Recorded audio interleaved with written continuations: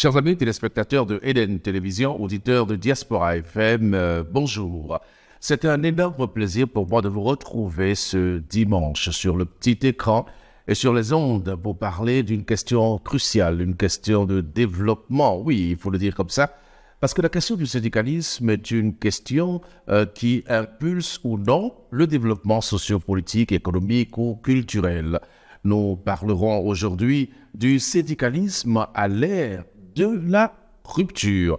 La lutte syndicale sous la rupture, c'est le thème de notre entretien du dimanche. Et pour ce dimanche, nous avons regardé dans le monde syndical et notre choix s'est porté sur M. Thierry Dovonneau.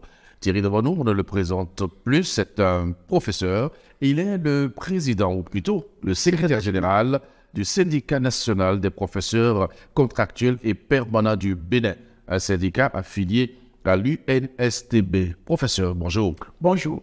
C'est vous notre invité de ce dimanche. Avec vous, nous parlerons Merci, justement de la lutte syndicale sous la rupture. Est-ce que c'est facile de faire du syndicalisme aujourd'hui euh, sous le président Patrice Talon?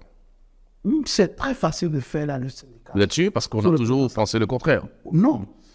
Et le problème, Mhm. c'est que beaucoup ne savent pas ce qu'on appelle la lutte syndicale. Mhm. Les syndicats ont plusieurs fonctions, environ cinq fonctions, Allez-y. dont la fonction revendicative. Mais les gens pensent que la fonction revendicative est la fonction essentielle du syndicat, c'est-à-dire lancer des grèves, etc. Oui. Tout à l'heure, vous avez dit que le SINAPEC, syndicat national des procès permanents et du BD, est affilié à l'UNSTB. C'est vrai, l'UNSTB est le syndicat, est la centrale bête de toutes les cent- centrales, Oui. puisque né en 1975. Et l'UNSTB a fait l'expérience. Et historiquement, pour l'UNSTB, nous devons insister sur la, for- la formation, la, forma- la fonction de formation des militants. Sinon, on n'ira nulle part. Et notre syndicat, qui est né en 2000, donc euh, sous le régime de Kéréko, Ça fait quand même 23 ans. ça fait 23 ans, nous n'avons lancé la des grèves que 5 fois En 23 ans. en 23 ans, en 23 ans. Contrairement à d'autres qui sont des gouvernements, mais qui ont déjà lancé la grève plus de 40 fois. Mais ça dépend euh, des enjeux, ça dépend de ce qu'on défend, euh, monsieur Devano. Non, vous savez, lorsque vous avez d'abord aucun gouvernement n'aime la grève. Le gouvernement aime La négociation, la discussion. la discussion. Et lorsque vous comprenez le gouvernement, dans la discussion, ça peut aller. Et surtout du lobbying. Je vais vous donner des exemples. Allez-y. En Sûr. 1960 et en 2005, Oui. les contractuels du Bénin devaient reverser comme et APE. Puis nous étions contractuels. C'était Kérékou qui nous avait recrutés en 97, 98, 99, 2000. Et tout juste après notre recrutement, on a fait notre statut et on a dit que au bout de 4 ans, au lieu de nous donner CDI, on va nous reverser dans la fonction publique. Puisque nous sommes efficaces Oui. en tant que et agents de Agent, oui. Pour être reversé, la Banque mondiale ne veut pas que et le- les pays africains comme le nôtre puissent avoir des fonctionnaires. On peut avoir des contractuels, mais pas des. Pas fonctionnaires. fonctionnaire. Alors, comment il faut faire? C'est que le décret 86-013 qui régit les fonctionnaires ne reconnaît pas les contractuels de l'État. Donc, nous insistons, mais nous n'existons pas. Alors, comment on peut faire pour que nous puissions exister Alors, on a commencé par négocier. Son mandat, arrive à faire tout. Elle a dit, je suis d'accord avec vous pour votre investissement, parce que vous êtes, vous êtes efficace. Et la motivation suprême pour donner, c'est de vous faire APE. Mais comment il faut faire Il y a une chose à faire. D'abord, introduire la notion de contractuel de l'État dans la loi 613. Mais comment il faut le faire? Nous, on n'est pas des politiques, on est des syndicalistes. Et nous avons notre stratégie, mais lorsque vous écoutez l'autre, l'autre peut aussi nous donner la stratégie. D'accord.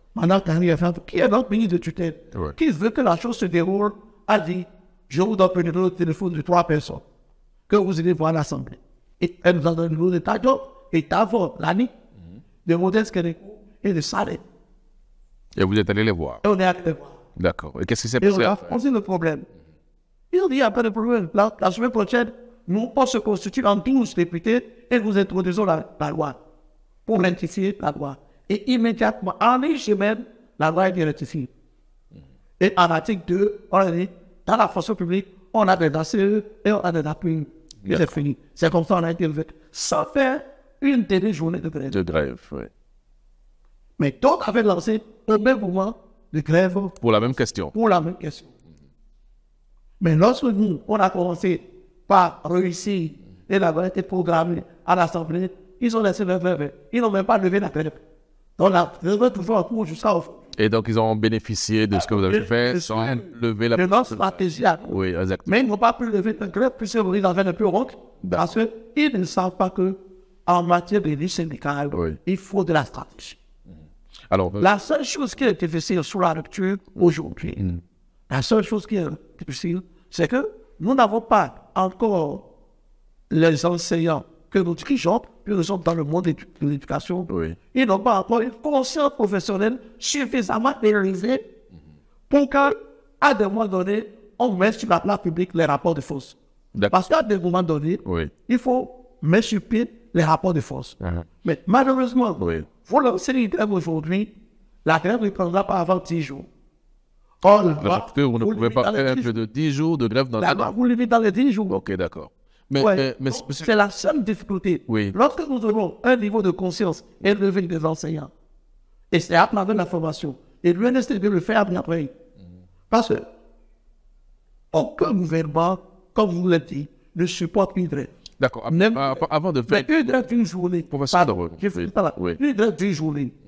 Et 80% des enseignants fixent ça. Le lendemain, le gouvernement viendra à la table de négociation. D'accord. Euh, professeur de, devant nous, euh, Oui. nous n'allons pas faire euh, pour le moment une Oui. fixation sur la grève. Vous avez dit que euh, la lutte syndicale a plusieurs fonctions. Fonctions. Fonctions lesquelles, par exemple? Nous avons la fonction de négociation, Oui. la fonction de représentation, la fonction de négociation, etc. Mhm. Et la fonction de formation. Donc la grève devrait être l'exception. La grève, c'est l'arme de dissuasion. Mhm. Parce que vous n'allez pas tout le temps mesurer les rapports de force. À force de mesurer les rapports de force, on brise la force. La force keynésienne. Mais malheureusement, c'est dans l'optique là que nous sommes depuis 1960. Où, lorsque les politiciens veulent regarder le gouvernement en place, il faut appeler aux syndicalistes. Ah bon, c'était ça? Ah, que ça. Donc ça veut dire que vous avez été longtemps euh, C'est- l'arme Ah, euh, à il faire- armé des politiques. Il y a un de nos anciens, M. Dofo Leopold, qui a écrit un, de- un document. Depuis 60, lorsque on veut regarder le gouvernement, c'est les syndicalistes qu'il faut aller chercher. Qui vient Et ouais, les politiciens viennent Et entendre. vous-même, vous les suivez? Ah ben, il le suit, moi je ne le suis pas. Mais pourquoi est-ce que... Non, mais euh, pourquoi est-ce que... Pourquoi est-ce que vous suivez les politiques C'est- Vous par, Ouais, ouais. par exemple, Oui. Est-ce que vous, vous m'avez jamais vu? Vous m'excusez, c'est passé le sort. Oui, allez-y. oui. À une marche, mercredi rouge. Vous n'allez pas me voir. Marche mercredi rouge. Donc vous n'étiez pas... Demandez à il syndicaliste. Ben, il y a des syndicalistes qui ont été associés à ça. Donc on est allé les chercher, vous voulez dire? les chercher. Euh, contre, euh, contre quoi? Ne me demandez pas ça. Ils sont là. Mais Ils sont encore vivants. Oui. Ils savent pourquoi et quelle était leur motivation. Ils savent ça. Mhm. Et vous savez, la notion de gombo- gombophagie en, en de moi, c'est que je suis le théoricien La notion de? De gombophagie. Ça, ça veut dire quoi? Alors, le gombo, Oui. c'est l'argent. Les Ivoiriens appellent ça l'argent. Et lorsque nous disons que nous avons des gombophages Ouais. parmi nous, c'est des gens qui aiment l'argent. Je pensais que c'était un terme euh, purement euh, journalistique. Non, Ah, donc c'est- aussi dans le milieu syndical. c'est un milieu syndical. D'accord. Avant, milieu journalistique. On parle de gombo dans le... Le gombo, il est là. Le gombo. J'ai compris. Oui. Donc, cette gombophagie, après, s'enfuit. Depuis 1960, où on mouillait les syndicats. Et en parenthèse, on avait même pu, à partir de 1994, des, des, des, des CBR qui se sont mués en centrale simplement. Des CBR, lisez de fou le pot, vous allez tout, voir, vous allez tout comprendre. Et moi, je dis une chose. le pouvoir de la rupture. Oui. Elle n'est pas il n'a pas tort. Donc, Attends, attendez, en, en- en disant, séparons le syndicalisme de, de la politique. attendez, Et puis, donc, Une-. Une, une- une seconde, Oui. professeur Thierry de Bonneau. Euh, vous êtes pour la suppression du droit de grève, c'est ça? Non, je ne suis pas pour la suppression du droit de Et d'ailleurs, la grève n'a pas été supprimée. Ça a été l'unique. Vous êtes pour ça? Vous êtes d'accord qu'on ait ramené euh, le droit de grève à 10 jours euh, Je, par an? je ne suis pas d'accord pour ça. Mais je dis, lorsque vous avez des travailleurs à bénéfice élevé, Oui. on aura 10 jours de grève, mais on fera seulement 15 jours de grève et le gouvernement va, va, va, va, va entendre raison. Et un pays à côté, l'autre qui en a fait.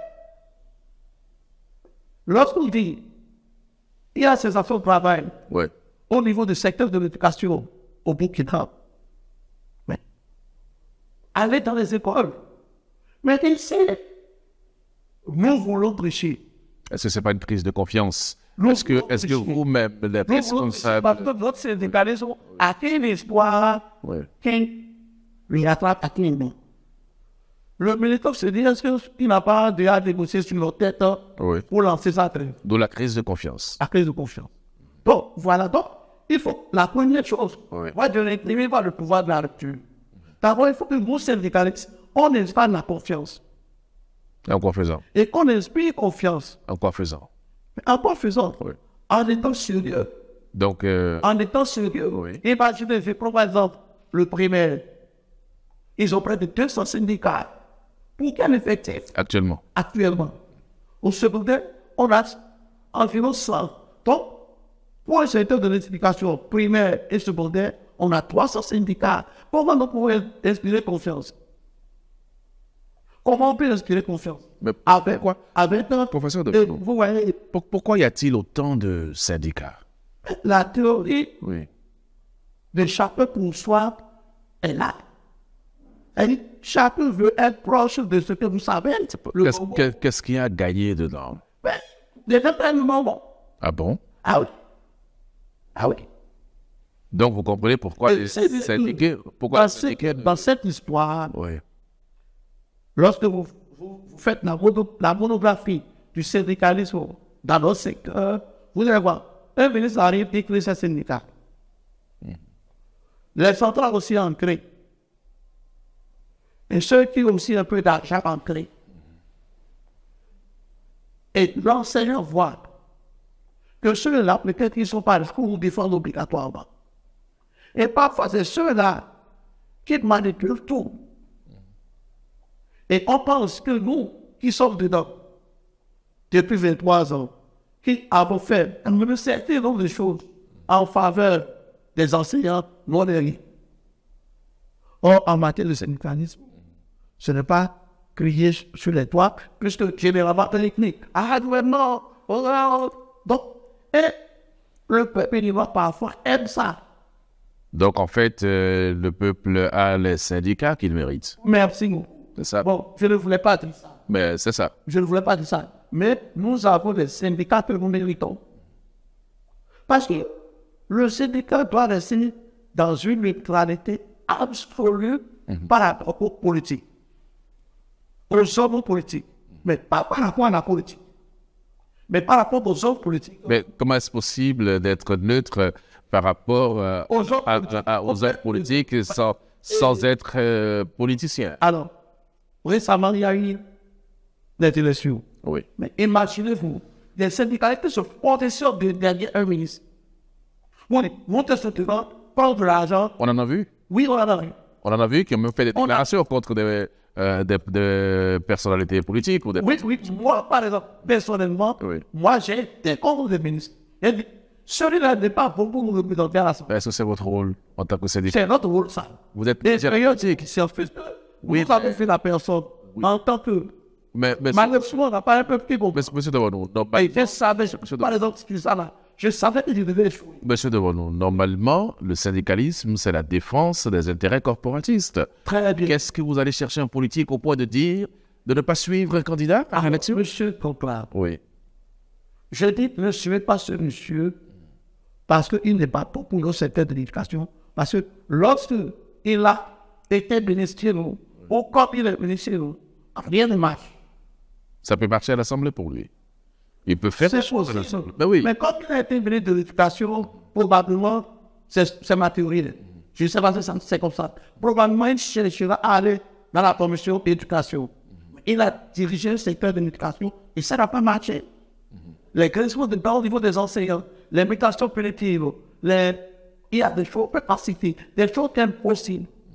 Mais bon, heureusement pour eux, ils sont passés. Mais là, ce n'est pas, c'est aller contre un homme et non contre la politique. Et je ne peux pas aller contre la politique du gouvernement.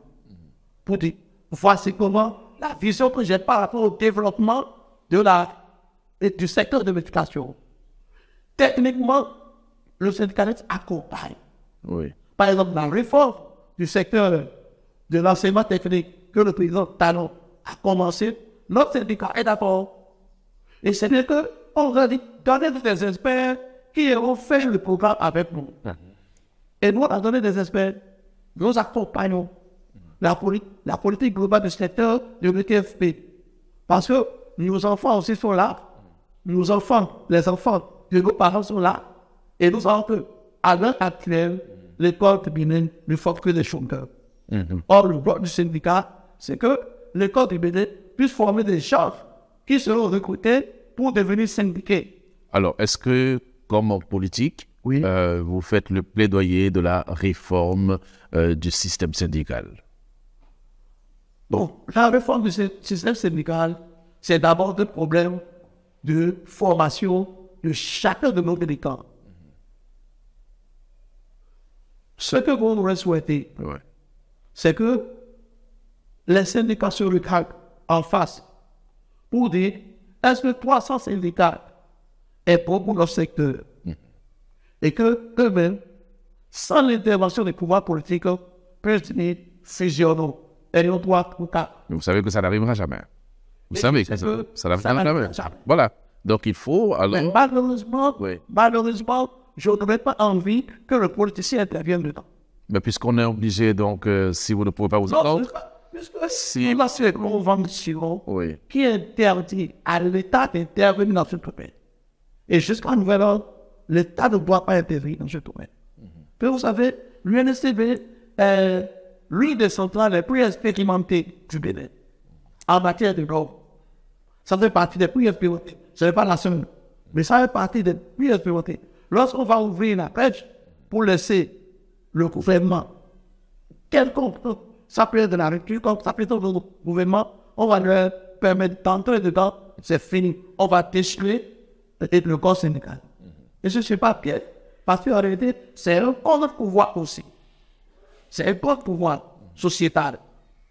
Et, mais nous-mêmes, il faut qu'on se dise, comportons-nous bien pour que eux, ils ne viennent pas se mettre dans notre Oui, oui, mais avec les élections professionnelles qui ont lieu régulièrement, euh, cette question est quand même un peu réglée, puisqu'on a au moins trois centrales syndicales qui euh, portent euh, euh, les autres et qui sont représentatives. Ces centrales participent aux négociations au gouvernement central syndical. Est-ce que le problème n'est pas réglé quelque part avec ça? Oui, bon, vous savez, d'abord, je félicite euh, les centrales représentatives et Chatarin Noël avec la COSI Ouais. et mon ami Aboussou avec la CSA Et Kassamampo, mon frère Kassamampo Oui. avec la CSTP. Ils ont sorti leur du de. Oui, Mais ça, c'est ce qu'on appelle l'élection professionnelle national.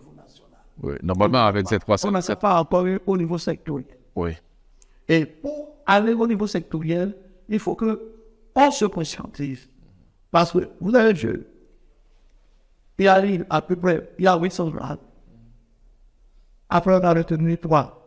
Mais à l'heure actuelle, avec les 300 syndicats dans notre secteur, si on fait une élection, est-ce que des, des syndicats pourront avoir 10% Ils ne pourront pas avoir 10%. Ce serait alors de l'argent jeté. Donc, mais au, mais travail- au moins, ouais, ça va nettoyer. nettoyer. à notre niveau, c'est de voir comment il faut faire des. Parce aujourd'hui, vous avez des, fonds- des syndicats de promotion. Promotion telle année, c'est le syndicat. Et le syndicat d'amis ou syndicat du professeur qui nous a enseigné à l'école normale, etc. Et c'est dangereux pour le secteur. C'est dangereux pour le secteur. Vous pensez que ceux qui ont créé ces syndicats sont prêts à les s'aborder? Non, moi, je ne peux pas dire qu'ils sont prêts que ça. Puisque vous, vous conseillez euh, Oui, de je réduire... Est-ce que si peu on vous demandait à vous, Monsieur Thierry euh, d'oublier votre syndicat pour aller vers un syndicat plus Non, représentatif, est-ce que vous le feriez? Il a oublié votre syndicat. Mais on peut me dire, et c'est ce que je dis, hein, Oui. Prenez 10 syndicats, entendez-vous former deux syndicats. Vous êtes prêt à disparaître, vous? Je suis prêt. Nous, on est prêt à faire ça. Parce que c'est la seule condition pour notre survie aujourd'hui. Puisque le syndicat, dans son rôle normatif, nous avons, et au niveau bureau central représentatif, ils font un travail formidable. Et au niveau de nos secteurs, nous avons par exemple, et ce que nous appelons la CAP, c'est les syndicats qui sont là et qui défendent sur le plan administratif les enseignants, peut-être qui ont fauté, qui ont commis des fautes, et bien dont le salaire est coupé, etc., etc. Et il faut que et, cette structure puisse rétablir les collègues dans leurs droits. Mais aujourd'hui, qu'est-ce bloque cette structure C'est une élection professionnelle sectorielle. C'est ça. C'est que pour que ces enseignants dont on a coupé le salaire depuis 6 mois, 7 mois, 8 mois, qui ne sont plus motivés à travailler, pour qu'ils puissent commencer, ou bien on fait une élection sectorielle, ou bien on trouve une voie, surtout dans les centrales de trouver la voie. Il reste à ce que la ministre de la fonction publique euh, elle puisse valider. Ouais. Et moi, je l'implore, Madame Mathieu je vous implore, acceptez ce que les centrales, le consensus des centrales représentatives et des centrales et non représentatives, acceptez ce consensus. Beaucoup d'enseignants souffrent. Et si on n'accepte pas pour que les enseignants qui sont en difficulté il y en a, on leur a coupé le salaire. Il y en a, et ils ont des arrivées de salaire, etc. Mais ces gens-là ne sont pas disposés à rendre le meilleur d'eux-mêmes si on ne règle pas leurs problèmes. Et on ne peut régler leurs problèmes qu'à travers les syndicats. Mais normalement, c'est une faute professionnelle. Ce n'est pas parce que vous avez ce type de problème que vous ne devez pas assumer votre mission qui est un sacerdoce. Non, l'homme n'est pas que physique. C'est aussi psychique. Oui. c'est aussi mental. Lorsque je viens devant les élèves et je ne sais pas ce que je vais manger à midi, et je ne sais pas comment je vais payer la contribution des enfants parce que mon salaire est coupé, je ne me rendrai pas le meilleur de moi-même. On peut faire tout ce qu'on dit. L'inspecteur peut venir dix fois dans ma classe. Il verra que, à des moments donnés, j'ai j'ai les absences. Je suis physiquement présent, Oui. mais je ne suis pas là. Et un bon inspecteur va m'aider à redresser ma mission. Et il va remarquer un problème administratif que j'ai. Et les inspecteurs le font. Et ils vont dire dans leur rapport à celui-là, il a tel problème administratif, essayer de l'aider à s'en sortir et il rendra le meilleur domaine. Voilà le problème. Donc, l'ordre des parties saisies, ce n'est pas une machine que vous mettez devant les, les élèves. Mais lorsque il a un problème de coupure de salaire, et il ne sait pas comment mettre de naissance dans sa moto pour venir à l'école me demander. Et comme si il, il vient en retard, vous n'allez rien faire. Mais il y a coupure de salaire, pourquoi? Il y a coupure de salaire Parce que, et parfois, il y a des incompréhensions. Il est vrai, certains ont eu quelques difficultés avec les tests législatifs. Ouais. Oui. Parce que peut-être la formation donnée à l'école normale n'a pas été, et vous comprenez, puisque au Bénin, dans 80% des cas, on envoie nos d'abord à les classes avant de les former. Donc, euh, la formation en matière de législation, ce qu'il faut faire, ce qu'il ne faut pas faire, il ne le sait pas totalement. Donc, en réalité, ce n'est pas sa faute. C'est Pour pas, pas la faute de l'État non plus. non, l'État qui a recruté, Oui. c'est qu'on ne doit pas envoyer des portiers en classe. Parce que c'est bon. Vous pensez qu'on peut envoyer une femme quelconque dans une salle d'accouchement pour aller accoucher quelqu'un? Non, Ça doit être obligatoire dans les sages-femmes. Mais nous, les enseignants, nous sommes comme les sages-femmes. Nous sommes d'accord à coucher pour, pour sortir d'un ordres qui seront utiles au bénin demain. Et l'époque qui ne peut pas faire ça. Donc la théorie, pour cadrer un enseignant, va se pour ça. Il y a, il y a la pédagogie, il y a la- il y a la pédagogie. Oui. Il faut enseigner aux Il y a la pédagogie, il y a la pédagogie, il y a le bon, la psychologie de l'enfant, etc. Si tu ne connais pas l'enfant, tu peux lui apprendre. Tu seras là, mais l'enfant n'apprendra rien. Donc, on a essayé de former des gens et de les former par leur propre comportement. Parce que c'est ça qui manque. C'est ça qui manque. Oui. Imaginez, bon, la dernière fois, je vous donne des exemples. Nous avons eu des collègues qui ont été recrutés en 2012, en 2014, en 2016. Chez les 2012, devraient commencer leur formation quatre ans après leur recrutement. C'est cette année ils ont commencé leur formation. Mais c'est une à la faute de qui Mais pas la faute de l'administration, par exemple. Mais aussi pas notre faute. Parce que nous n'avons pas développé, nous ne faisons pas le syndicalisme qu'il faut. Est-ce que Mais oui. et parfois, la nature nous aide un peu. Le ministre Poirot de l'enseignement secondaire qui arrive, il s'est fait que c'est un ami personnel à moi. On s'est connu à l'université. Mais le, deux semaines après sa domination, je suis parti lui en remettre le dossier de la formation des enseignants à CDPU. J'ai dit, si tu ne sais pas ça là, tu, tu me racontes toi. Vous l'avez dit au ministre. J'ai dit, bon, moi, de temps en temps, il faut dénoncer les ministres. D'accord. Oui, de temps en temps. C'est aussi une force. Si tu ne fais pas ça là, avant 2023, tu auras de projets. Je n'ai pas dit tu es plus sérieux ministre. On a encore des agents Bon, oui. de façon officielle, c'est vous dit. Donc, si vous ne faites pas ça, vous mourrez comme ça. Il s'agit de quoi? Je lui ai expliqué. La performance de l'école dépend de ça. Ok. Il fait voir une fiche. J'ai fait la fiche. Il a pris la fiche. La formation a démarré. En, 2000 en décembre 2022. Donc, avant 2023, Ça, c'est la formation. À l'actif de votre syndicat. C'est ça l'idée. Il ne s'agit pas de crier sur tous les points. Non. Donc, en fait- Il faut trouver une réponse. Voilà, justement, j'allais vous poser la question. A- a- Avec le gouvernement de la rupture, puisque nous parlons de la lutte syndicale euh, sous la rupture, est-ce que vous avez une oreille attentive? Est-ce que vous êtes écouté? Est-ce que- Mais actuellement, au secondaire, nous avons plus d'oreilles qui nous écoutent. Le ministre Yves Ouattara nous écoute actuellement. Parce qu'en réalité, il a été directeur des ressources humaines pendant près de 10 ans. Donc, il connaît les problèmes. Et donc, il connaît le problème. Et il sait que ces problèmes administratifs, si on ne les règle pas, ça ne permettra pas d'avoir de bons enseignants dans les classes. Il sait ça là. Et Dieu merci, il a des gens, des connaisseurs comme nous, qui sont là, qui lui disent, fais pour ça, c'est nous, on a fait comme ça. Et il le fait. Mais Pourquoi vous n'essayez pas d'entretenir le même type de rapport avec le ministre de l'enseignement primaire? Parce que là, vous êtes un peu, euh, et ça c'est de l'autorité publique, euh, monsieur devant nous, vous êtes euh, euh, à couteau tiré avec lui personnellement. Oui, avec M. Saliman, Oui. je suis à tout tiré. Pour la simple raison que, d'abord, est-ce que est-ce que vous savez que M. Saliman est un ami personnel C'est vous qui le dites. Oui, c'est un ami Comme personnel. monsieur Poirot d'ailleurs. Non, c'est un ami personnel. Donc, ça nécessite, en tant que ministre, et ma préoccupation est majeure.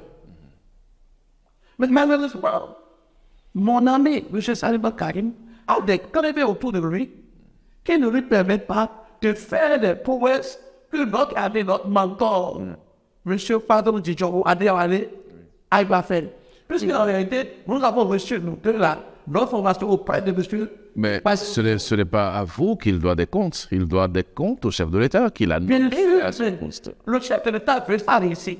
Le fait de l'État fait un résultat positif. On est d'accord. Mais s'il est toujours là, c'est que Mais c'est lui, qu'il y avait dans le... il n'est pas sur la voie de l'État. Je, prenons par exemple le cas du concours qui m'a fait sortir de, mon, de mes comptes. Oui. Concours de CAP-CP. Où le ministre dire. J'ai annulé le concours parce que l'argent a sécuré. Mais si tu as donné l'argent à dire, Il ne l'a pas dit. Il ne l'a jamais dit. Oui, mais il n'est il pas obligé de le dire non plus. Ah, Mais ils sont obligés de le non, dire. à son niveau, il peut faire une certaine rétention d'informations et faire le compte rendu à qui de droit. Vous vous concours oui. national. La raison, c'est que l'argent circulait. Point. Vous entraînez un concours national et vous frustrez des projets. Vous analysez leur sujet. Vous donnez des pourquoi vous l'avez fait. Parce Mais que- si que l'argent circulé n'est pas suffisant. Parce que tous ceux qui ont eu ce concours-là se sentiront coupables Oui, mais peut-être mais peut-être c'est à un autre niveau de, de décision, à un autre Monsieur niveau de compte rendu. Non. Professeur Thierry de votre. Non, non, pas du tout. Mais même pas, mais n'attendez pas d'un ministre qui vous donne toutes les informations. Pourquoi Bon, malheureusement, Oui. bon, je laisse être entré à la prière pour dire, je veux qu'on me dise, ouais, le dossier est en cours, je ne veux pas en parler. D'accord. C'est tout. Sinon, ce n'est pas normal que un ministre de l'Éducation vienne dire, parce que de l'argent circulé pour ce concours sur la neuf, mais il n'a pas engagé une poursuite contre ceux qui ont fait circuler l'argent. Parce que c'est lui qui les connaît, nous ne les connaissons pas. De toutes les façons, je vous promets, nous allons faire une démarche euh, euh, au niveau du ministère de l'enseignement primaire. Désolé, vous dites que vous allez voir à Boussou et Anselme. Nous allons demander même au ministre hein, de, de nous accorder une interview, si possible, pour nous expliquer un peu euh, sur, sur ce concours-là. Et ça, je le dis publiquement, nous ferons cette Ça, démarche professionnelle. Euh, comme il n'est pas là sur le plateau, on on va ça, ouais. D'accord. Lui et moi, on ne peut pas se prendre. Parce que nous sommes des éducateurs. Oui. Et des gens sont admis à ce concours. Et on a en nous-mêmes. Et on dit, l'argent a circulé. Mais celui qui a admis, qui a admis, il se dit, c'est moi qui ai fait circuler l'argent. Celui qui a par contre posera la même question. C'est que chacun se regarde dans le chien de faïence et dit, mais qui a fait après de l'argent pour que emmenions notre concours? Alors, le gouvernement vous a quand même écouté sur la question des aspirants au métier de euh, l'enseignement. Euh, professeur Thierry Devono, il y a quand même euh, un pas important qui a été fait. Désormais, ils sont payés 12 mois sur 12. Bon, par rapport aux aspirants, Oui. Moi, je voudrais dire quelque chose. D'abord, au départ, je ne vais pas vous mentir, le système d'Articulana, je ne suis pas d'accord en tant que syndicaliste. Vous l'avez exprimé? Et je l'ai exprimé. et vous n'avez pas été entendu? Je n'ai pas été entendu.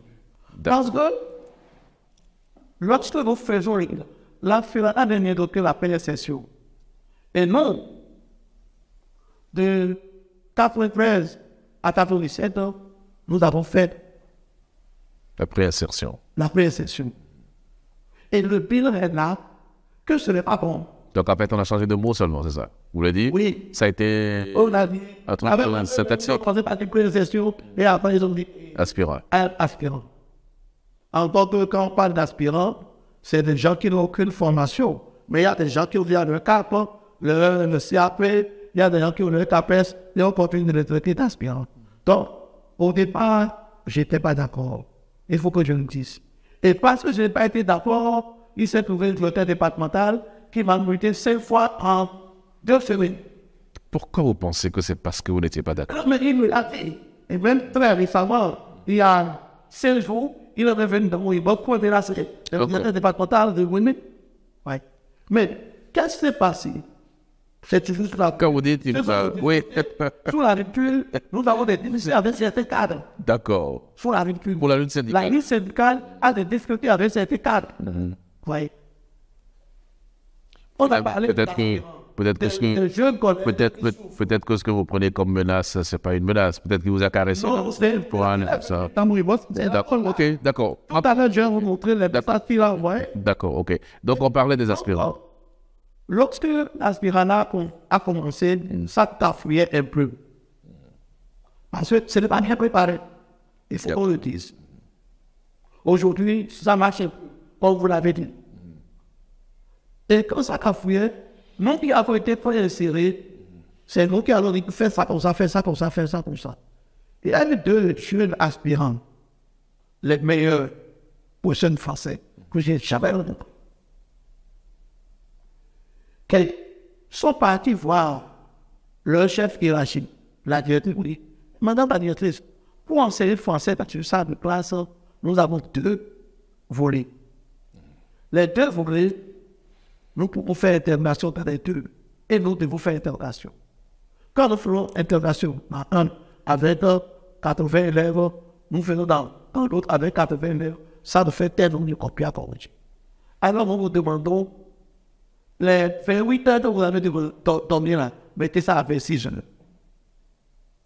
Et c'est à partir de là que le directeur a pris une note départementale pris pour les suspendre carrément. Mais j'ai dit, mais vous n'avez pas le droit de suspendre des enseignants que vous n'avez pas recrutés. Vous faites le point à votre hiérarchie. Et c'est le rôle du syndicat. Mais le monsieur dit, doit être corrigé, grand mutation 5 ans en deux semaines. J'avais été muté cinq fois 5 fois? en deux semaines. Et mal- malheureusement pour eux, bon, il y a des gens quand même de la rectrice qui sont très bien. Je vais parler, par exemple, de M. Dario Juarez. Oui, le conseil d'excellence. Il m'a appelé, je suis parti dans son bureau. Il, il prend le dossier, il dit, c'est pas ça. Il met sur pied une commission, là on a vérifié. On a fait, j'avais raison. Il dit, ramenez-le à Papa. C'est comme ça. Vous avez été ramené à Porto Ouais. Donc, la lutte syndicale a des difficultés avec certains cadres de la rupture. Pas avec la rupture, mais avec certains cadres de la rupture. Et si on peut corriger ces choses, ou on peut former les cadres à pouvoir écouter ceux qui gèrent, je serais très bien. Donc, par rapport aujourd'hui, je peux dire que, bon, je suis un peu satisfait par rapport à la gestion que la rupture fait des peu, un peu satisfait. D'accord. Mais, puisque c'est la question que vous avez posée, Oui, bien sûr. Je suis un peu Euh, satisfait. Les aspirants, oui. ben, par rapport à leurs conditions de paiement, etc. Mais moi, je voudrais qu'on fasse mieux pour eux. C'est-à-dire? Que l'État du Bénin puisse lancer des concours de recrutement dans ces DPE. Donc, vous ne voulez pas qu'il y ait des aspirants ou des contractuels euh, Donc, moi, je veux qu'il y ait des contractuels de l'État Oui. et des fonctionnaires de l'État. fonctionnaires, oui. Donc, parmi eux, qu'on lance des concours pour qu'on puisse recruter à DPE et qu'on puisse recruter et APE. Et je vous dis, ce serait bénéfique pour le système. Parce que nous avons aujourd'hui une raréfaction de d'ACDPE et on a une raréfaction de et, et ans, si l'État ne règle pas ce problème, on n'aura pas de directeur pour le collège et pour nos écoles primaires et maternelles. Parce que d'ici 4 ans, une grande partie des FE et des ACDPE vont aller à la retraite. Alors, ACDPE, c'est quoi pour les téléspectateurs ACDPE, c'est les contracteurs d'État. D'accord. Et les F, euh, Les FE, c'est les anciens APE. Donc, euh, agents permanents de l'État. Ok, d'accord. Selon la nouvelle loi. D'accord. Donc, si l'État ne fait pas ça pour recruter parmi nos jeunes frères APE, des contracteurs de l'État et des fonctionnaires de l'État d'ici 4 ans, puisqu'il faut avoir la vision positive, les talents aiment la prospection. Le président Talon aime la prospection. Mais je ne sais pas si les gens vont dire, lui ont donné des statistiques. Mais en matière de statistiques, la première chose à avoir, c'est l'histoire de la chose. La deuxième chose, c'est les, les statistiques. Et sur ces statistiques nous permettent de décider. Donc, la décision aujourd'hui, au regard de l'histoire, au regard des statistiques, la seule décision que le président Talon doit prendre au cours de 2023, je vous souhaite heureuse année. La seule décision, c'est de recruter des contracteurs de l'État et des fonctionnaires de l'État. Sinon, l'école sera en panne dans 4 ans. D'accord, il faut La carte, on n'aura pas. Le directeur. Aujourd'hui, on a des écoles qui n'ont pas de, de directeur. Et le, a été obligé de fusionner les écoles pour leur trouver des directeurs. Le directeur. Les groupes, je vais parler des groupes. D'accord, ok. Alors, professeur Thierry devant nous, la lutte syndicale sous la rupture euh, a permis également, euh, depuis quelques semaines maintenant, d'avoir une revalorisation euh, des salaires et d'avoir un relèvement du SMIC et tout ça. Oui, ça veut dire que ça va bien, au moins vous êtes écouté. Bon, et, moi, il ne va pas euh, aller. En fait, nous n'allons pas discuter comme si nous sommes des autres de la. Nous sommes d'abord des folie, Oui. des éducateurs. Pourquoi vous prenez, pourquoi, pourquoi, pourquoi vous mettez ces gants-là Non, avant je vais remercier, Oui. je vais remercier le gouvernement pour avoir fait ces gestes. de revaloriser C'est inédit. C'est inédit. Mais non, ce n'est pas une petite. On a vu des revalorisations vers Oui, ça fait longtemps que. Enfin, je veux dire que vous avez. On a vu hein. 25%, augmentation brutale de 25% dans ce pays. Donc maintenant, vous voulez que ce soit brutal aussi de 30%, c'est ça? Donc, je les remercie. Ouais. Mais mettons sur la table ce qu'ils ont donné. Et mettons sur la table ce qui se passe dans la vie de chaque enseignant Oui. ou de chaque fonctionnaire. Ce qu'ils ont mis sur la table dans la balance ne suffit pas. Il faut qu'on leur dise la vérité. Ça ne suffit pas. C'est quand même quelque chose. euh, Professeur Thierry de C'est quelque chose que nous avons remercié. Nous ne pas, oh, on ne sera pas ingrat pour dire que ce qu'il a donné, c'est rien du tout. Mais ce qu'il a donné, c'est quelque chose. Je le reconnais. Mais c'est-à-dire, ce qu'il a donné ne me permet même pas de faire six jours. Bon, bon, bon, vous faites 5 jours. Six jours de dépenses. Ce qu'il a donné ne me permet pas de faire Mais est-ce qu'un tien ne vaut pas mieux que deux, tu l'auras Non, et monsieur Abano, Ah, j'ai été clair. Oui. J'ai dit ce qu'il a donné, c'est quelque chose.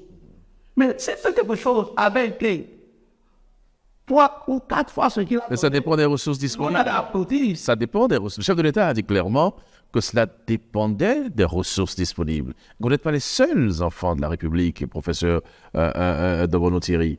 Donc, euh, l'État arbitre compte tenu des besoins de chaque couche sociale. Vous avez eu pour vous, Monsieur Abano. n'est-ce pas? Oui. Monsieur Abano. Et oui, je faut comprendre, les journalistes, Donc- vous avez être dans la peau du président de la République. Non, pas du tout. Je, oui, je n'ose pas. vous Ah, je suis dans la peau de tout le monde. Vous titiller un peu. Non, en fait, vous j'observe. Il y, a, il y a des citoyens qui pensent exactement comme moi. Non. Donc, je veux faire le, le relais de Le président a peut-être raison Oui. de penser que nous ne sommes pas les seuls de la République. Mais mon frère, prenez un fonctionnaire lambda. Vous savez combien de personnes il y a derrière lui?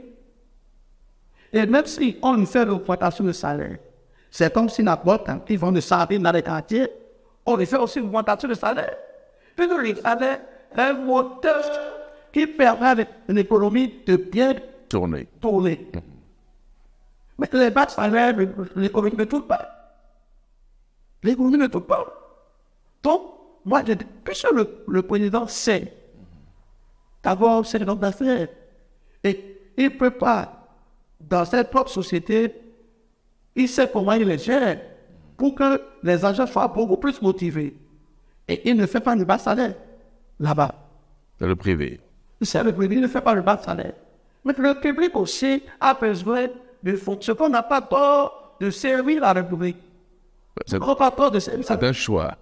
Non, on n'a pas tort de servir. Vous avez choisi de servir. Moi, enseignant, Oui. enseignant, la République est obligée de s'occuper de l'éducation de ses enfants. Mais la République ne peut pas tout vous donner. Non, non, non. La, la République, le président de la République est obligé de regarder la situation Oui. et doit regarder. Il a donné un peu, mais c'est un peu juillet, et si juillet, il donne un peu, on va prendre. S'il y en a. Non, il y en a. Ah bon? On circule dans votre route, on dans votre Oui. on sait qu'il y en a. On sait qu'il y en a.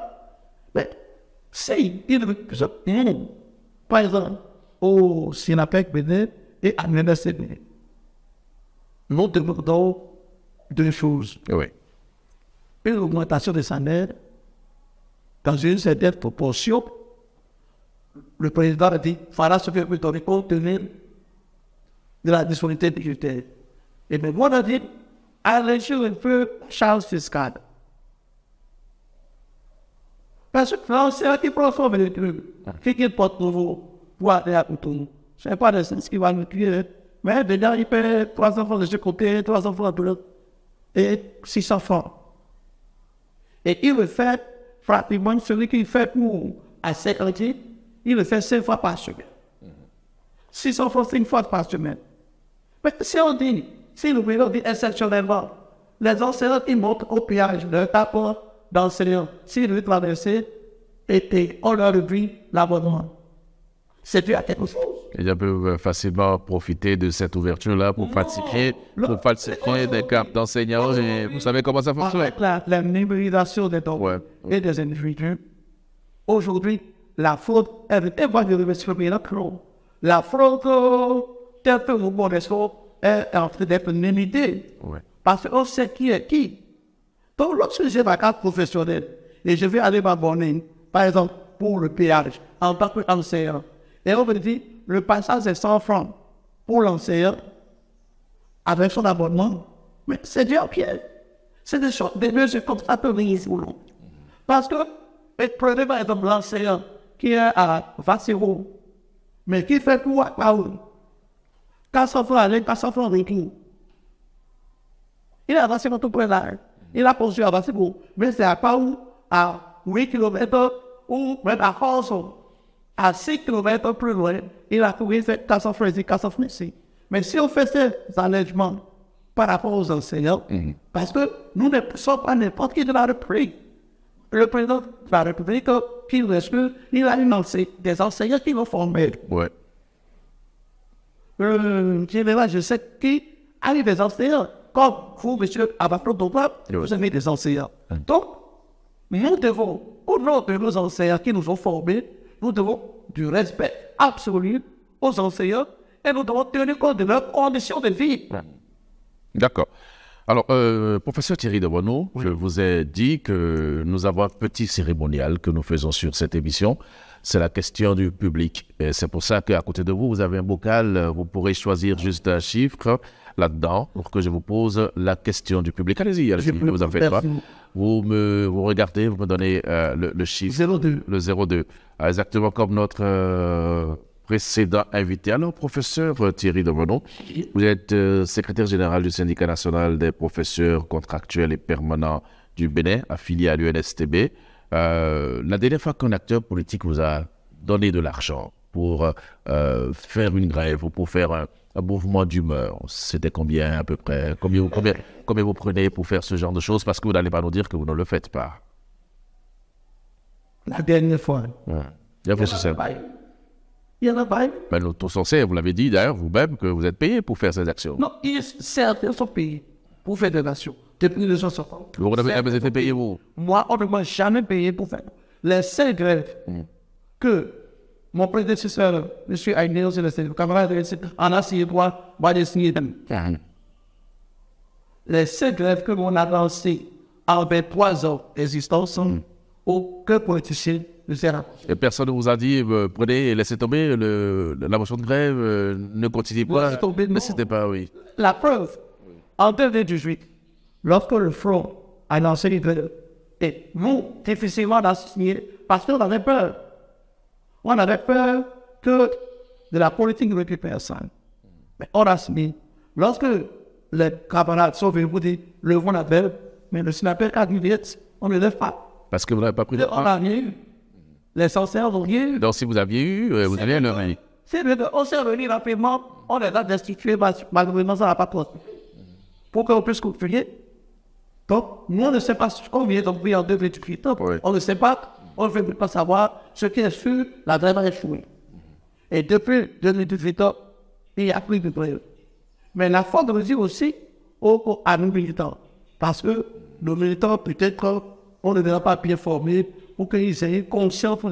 Lorsque notre chef, nos chefs, arrivent à dire ne continuons pas, alors que pour commencer, ils sont allés nous voir, nous allons leur dire non, ça ne se fera pas comme ça.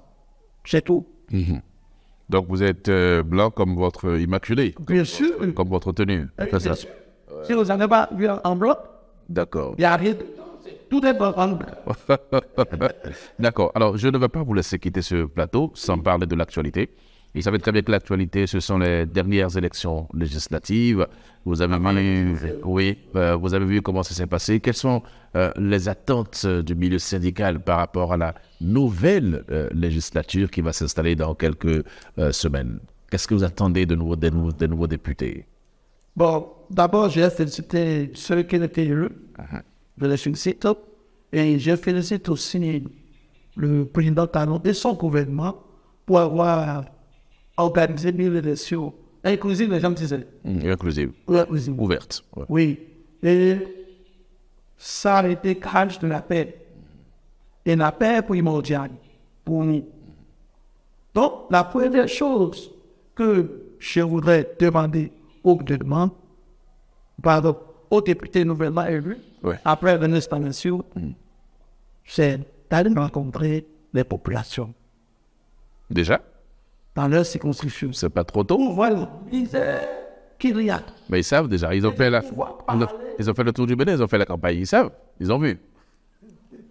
et de pouvoir parler au président de ma de toucher le cœur du président République pour qu'il puisse desserrer un peu les vis ou les ceintures. Puis on a depuis 2016 de serrer les ceintures. Et que cette législature puisse Monsieur le Président, va donner que la population desserre un peu les ceintures pour qu'on puisse respirer. Ça, c'est la première chose. D'accord.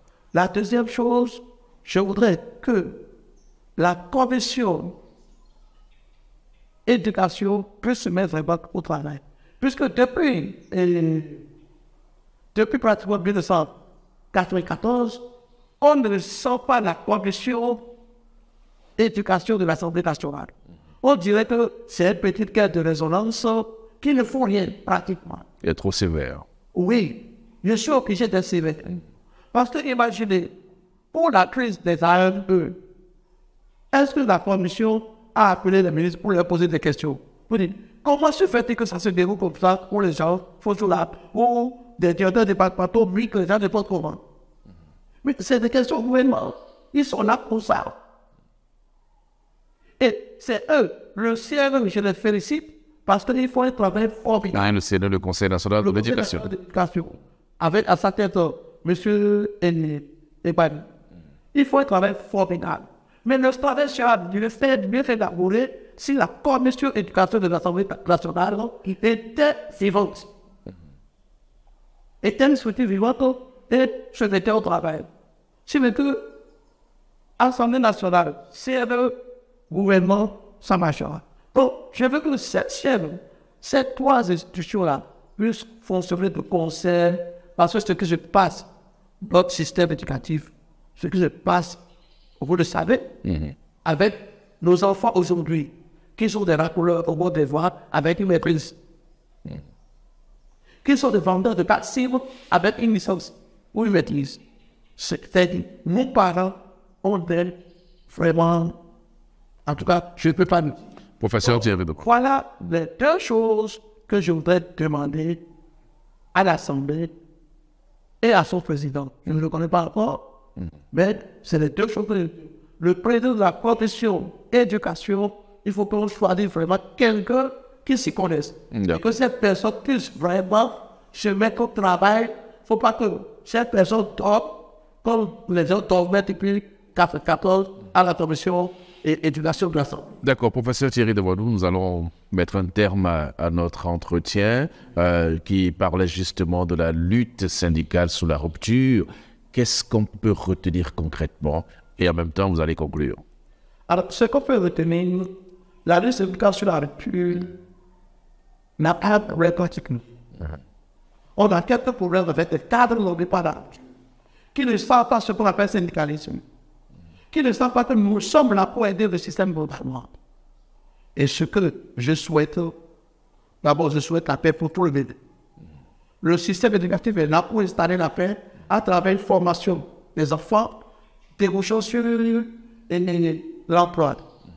Aujourd'hui, on n'est pas encore là.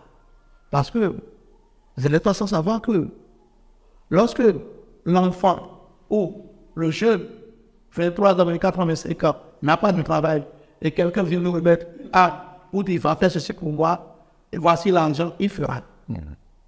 Donc, pour que la paix s'installe dans tout le pays, du nord au sud, il faut que notre gouvernement, avec son Assemblée nationale, puisse mettre l'éducation en première position dans leur agenda. C'est ce que nous faisons. D'accord. Merci, professeur Thierry euh, Devoinou. Je vais rappeler à tous nos téléspectateurs et à nos auditeurs que vous êtes le président. Pourquoi je dis président le, Bon, je vous souhaite d'être président un jour. le secrétaire général du syndicat national des professeurs contractuels et permanents du Bénin. Euh, un syndicat, je le rappelle encore une fois, affilié à l'UNSTB. Chers amis téléspectateurs, chers amis auditeurs, merci beaucoup. Nous avions parlé en quelques minutes, 52 plus précisément, de la lutte syndicale sous la rupture. Notre ambition est de nous intéresser à tous les corps de métier. Notre ambition sur cette émission est de donner la parole à tous les acteurs, qu'ils soient politiques, je le dis souvent, euh, économiques, euh, sociaux, culturels, tout ce que vous voulez. Que cet entretien soit le vôtre chaque dimanche sur nos deux médias. Merci pour votre aimable attention. Que Dieu vous bénisse, qu'il vous protège à dimanche prochain.